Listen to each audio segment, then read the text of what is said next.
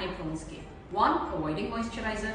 I understand we think that oily skin is linked to acne, but moisturizer is actually soothing and calming and reducing the inflammation of your skin. So super important to keep your skin well moisturized and nourished. Two, sunscreen. Sun itself because of the heat can inflame your skin. And remember what we need to do? Reduce inflammation for acne prone skin. So choose your sunscreen right which is mostly matte and that should be done.